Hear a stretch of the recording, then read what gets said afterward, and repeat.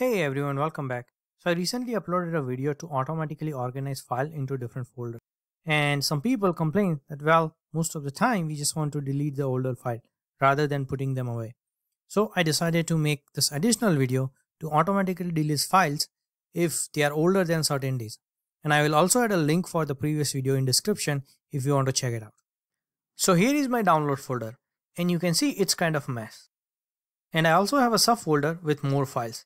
And as you can see, it will be challenging to delete each file individually, especially if you have multiple subfolder. So let's go ahead and automate this. So first thing we will do is import OS and a date time module. Now we will define days variable to store number of days. If files created date is greater than our given days, then we will delete that file.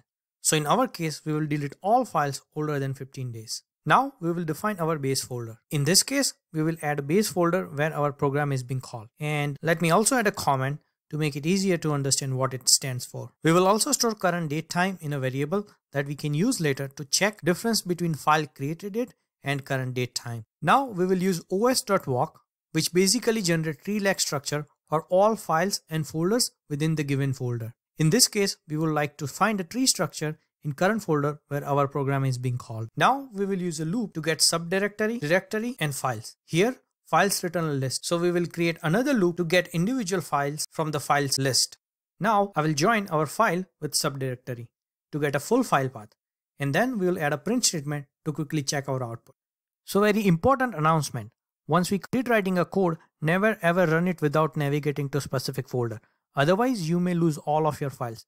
Be very careful because as saying goes, with great power comes great responsibility. So in this case, I want to run my code in a download folder. So let me use cd command and navigate to that folder. And then we will run our code. As you can see, we are getting path for all of our files where our program is called.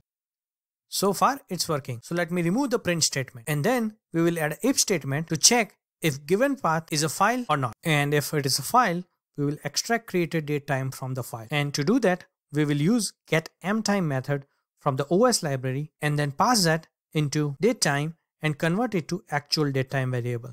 Let me quickly add a print statement to make sure we are getting correct output. Let's run our code. And as you can see, we are getting error that get mtime is not part of OS module. I think I got it. Actually, it's part of os.path module. So let me fix it and then rerun our code. As you can see, we are getting created date for all of our files. Now we will add another if statement and subtract file created date time from the current date time and check if the difference greater than given days using time delta. So here days is a variable we defined earlier which is 15 days. And once we confirm file is older than 15 days, we will use os.remove method and remove that file. So now we have all of our code. But before we run it, I cannot stress this enough.